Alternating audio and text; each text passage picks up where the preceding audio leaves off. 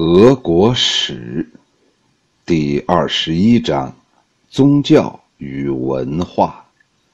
一九五三到一九九一年，文学从解冻到开放。诗人与讽刺作家。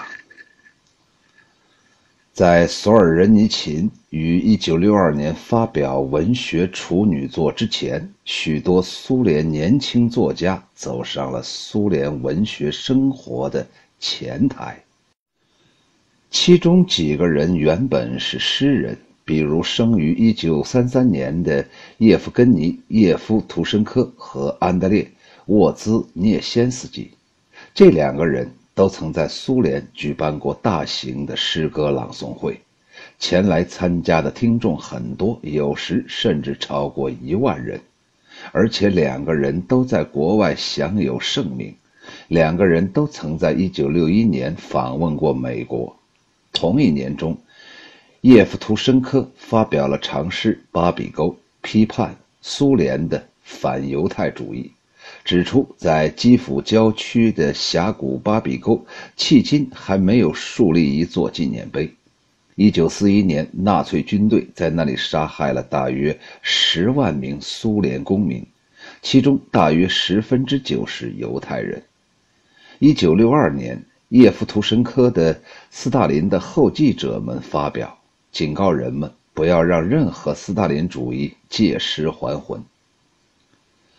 沃兹涅先斯基诗歌的内容更不保守，革新意义比叶夫图申科还要强，常常表现个人或者是更广阔的问题，如艺术家或科学技术在现代世界的作用问题。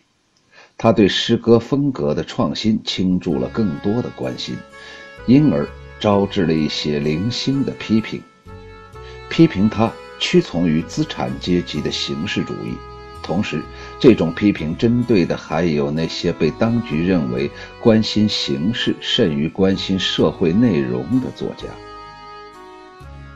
在国外没有那么有名，但却同样是苏联诗坛精英的贝拉·阿赫玛杜林娜，她生于1937年，她的第一本诗集出版于1962年。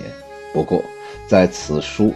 出版之前，他已经是名人，因为叶夫图申科写的一部爱情长诗的对象就是他本人。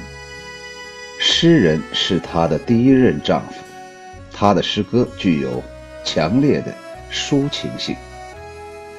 影响更大的年轻的散文作家是瓦西里·阿克肖诺夫，他生于1932年。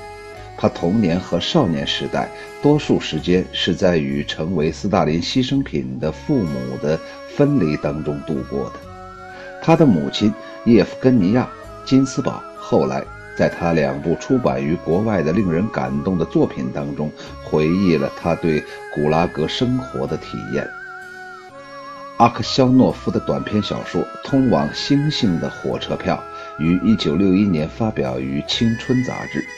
成为或许是青年散文中最著名的范例。小说描写了一群对于体育运动、爵士乐和与异性相比，对崇高的党的目标和口号更感兴趣的少年。他们的语言充满了俚语和从西方借用的词汇，和叶夫图申科以及沃兹涅先斯基一样，阿克肖诺夫。反传统的特征和风格常常受到更加保守的作家和当局的批判。和阿克肖诺夫同岁的弗拉基米尔·沃伊诺维奇是另一篇短篇小说《我们生活在此处》的作者。这篇小说属于青年散文的范畴，但却是反映集体农庄生活的。和阿克肖诺夫的许多散文一样，这篇小说以新颖。嘲弄和讽刺为特点，他们此类特立独行的方式引起了苏联当局零星的不满。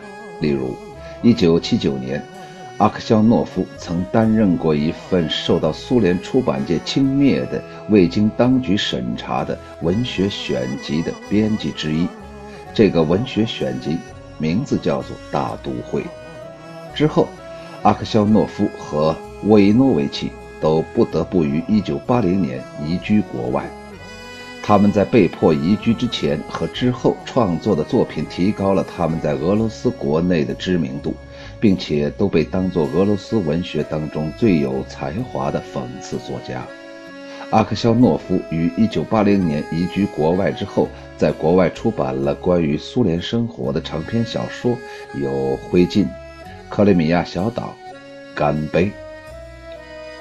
沃伊诺维奇的作品有伊凡·肖尔金生平和非凡的冒险，伊万基亚德一位简称为王者，伊万·肖尔金伺候的冒险经历，反苏维埃的苏维埃联盟，以及莫斯科2024年。到了1980年，许多俄国最好的作家都被迫出国。1987年，诗人约瑟夫·布罗茨基那时候已经做了长达15年的侨民，在帕斯捷尔纳克和索尔仁尼琴之后，他成为了诺贝尔文学奖的获得者。令人啼笑皆非的是，1991年，当许多批评家都认为他是用俄语写作的最好的诗人。而且俄罗斯公众对他的诗作也日益熟悉的时候，他却被冠以“美国桂冠诗人”之美称。当然了，他的诗往往是很艰涩，带有哲理性。